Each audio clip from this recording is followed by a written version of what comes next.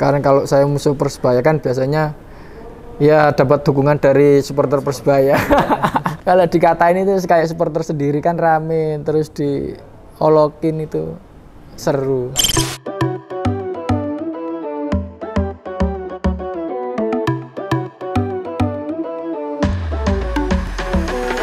Nama saya Hendro Siswanto, eh, posisi gelandang pemain Borneo FC Samarinda.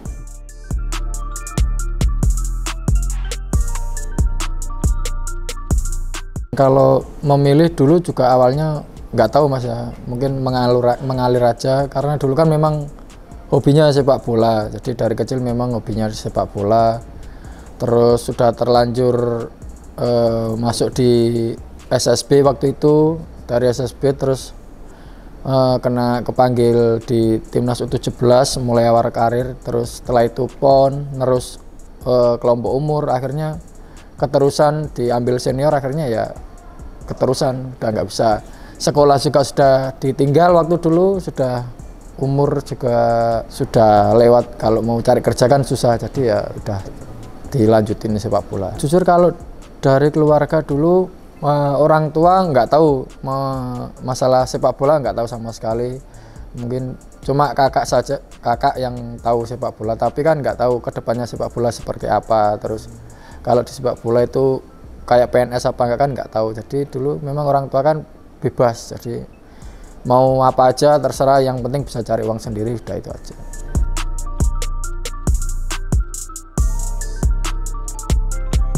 Kalau perjalanan dulu ya susah sih, susah karena dulu kan uh, tinggalnya di Tuban, lahirnya di Tuban, jadi kota kecil. Dulu timnas U17 juga uh, ditanya um, dari kota mana, uh, orang pengurusnya juga nggak tahu. Tuban itu mana, ada bandara apa enggak juga nggak tahu. Jadi ya dari awal mulanya memang dari SSB itu ada Liga Remaja dulu namanya Liga Remaja itu persatu ikut junior itu. Setelah itu uh, dipanggil timnas U17 selesai timnas U17 itu baru mulai ke ke next selanjutnya itu PON terus ikut timnas dipanggil timnas U19 lagi. Dari itu sudah mulai setelah PON terus ke PSIS Semarang. Sudah itu mas. Dulu memang zamannya kecil memang pelatih saya kebetulan uh, mantan pemainnya Arema. Jadi dari kecil memang pengennya ke Arema. Jadi ya mungkin salah satu klub tujuan saya dulu kan cuma motivasi saya pengen mainnya di Arema. Jadi kalau dulu di Arema itu susah pemain main di Arema kan pemainnya bagus-bagus. Hmm. kalau nembus langsung juga susah jadi jalan satunya ya mungkin ke PSIS dulu. Setelah ke PSIS dulu ke Persiba Balikpapan 2010 terus ke Persela Lamongan setelah itu baru ke ke Arema ya. Setelah timnas U23 SEA Games baru bisa ke Arema. Klub paling lama Arema saya 9 tahun di Arema. Yang klub yang lainnya cuma setahun PSIS setahun Persiba setahun Persela setahun terus ke Arema. Setelah itu ke Borneo ini.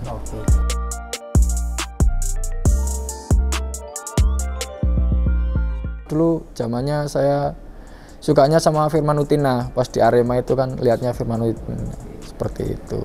Kenapa menyukai Firman sosok Mas Firman Utina nggak tahu ya. Karena ya karena saya gelandang terus karena dulu saya juga suka nonton Arema e, kalau pertandingan paling saya lihatnya cuma beberapa klub aja paling Arema terus Persebaya terus Persik Kediri, PSIS sudah itu aja mas kalau zaman dulu. Jadi sukanya lebih cenderung ke Arema kan ya. Aremania yang zaman dulu kan masih Aremania. Jadi sukanya pas kebetulan ada Mas Firman dulu. Ya nggak nyangka juga bisa ke Arema dulu ya.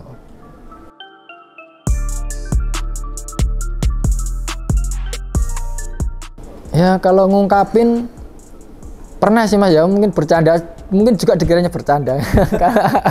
Kan kalau saya ngomong idola paling dikiranya bercanda. Tapi kan kepuasan tersendiri karena saya juga sudah uh, tukar baju dulu minta uh, bajunya Mas Firman juga sih disimpan sampai sekarang. Ya dong. Kenang-kenangan. Kenang-kenangan itu. Susah nyarinya.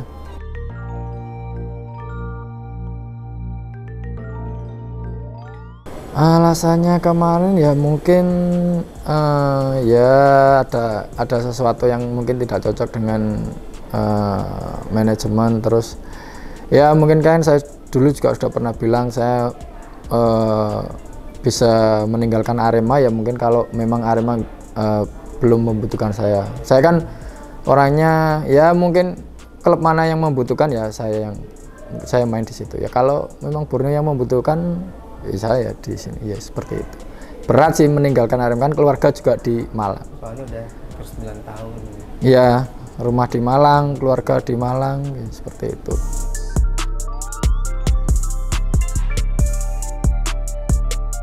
Uh, saya pribadi melihat pemain Borneo ini kan bagus-bagus. Itu salah satu saya ingin ke Borneo juga kan karena uh, manajemennya bagus terus pemainnya juga bagus-bagus. Uh, kalau saya pribadi memang pengennya kemarin ya targetnya juara. Kalau sekarang ya inginnya yang terpenting adalah uh, uh, finish di posisi yang terbaik lah. Kalau bisa ya antara satu dua tiga itulah. Tiga besar ya? iya pengennya sih seperti itu. Tapi sekarang kan masih posisinya juga masih seri dua masih, ah, masih di bawah lah. Nah, jadi posisinya masih jelek ya kita harus bekerja keras lagi untuk ke sana sih.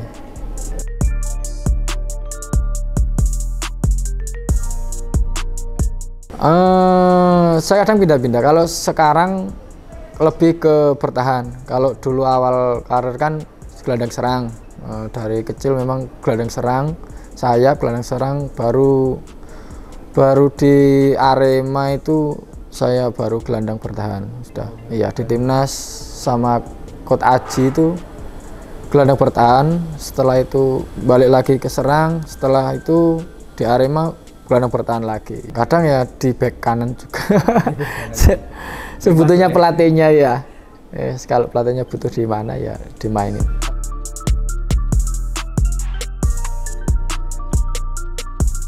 yang bikin saya susah itu dulu ya ini Gustavo.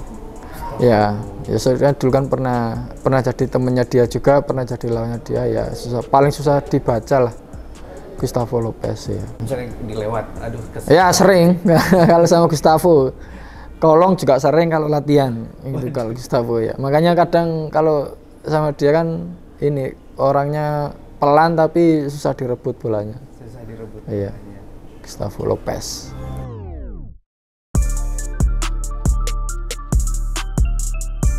Cetak gol lawan Persebaya itu mas. Itu Piala Presiden tahun berapa ya? 2019 kalau nggak salah. Di di kandangnya Persebaya itu itulah. Away jadinya menang.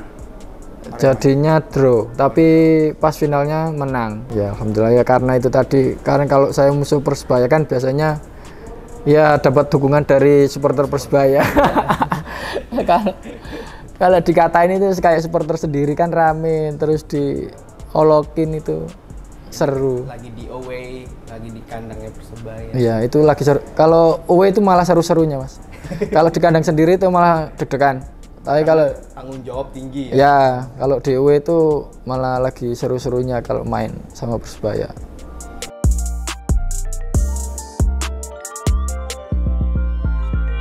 Sekarang kan banyak uh, kalah sama gadget.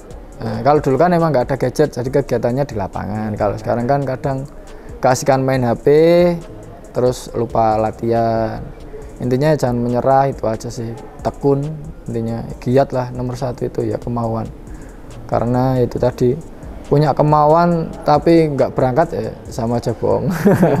Mau aja tapi nggak kerja keras juga percuma ya karena itu tadi nggak ada yang nggak mungkin mau di mana pun tempatnya kalau kita berusaha ya insya Allah bisa jadi yang terbaik lah. Terima kasih telah menonton video ini. Jangan lupa subscribe Tiento Indonesia. Oke okay,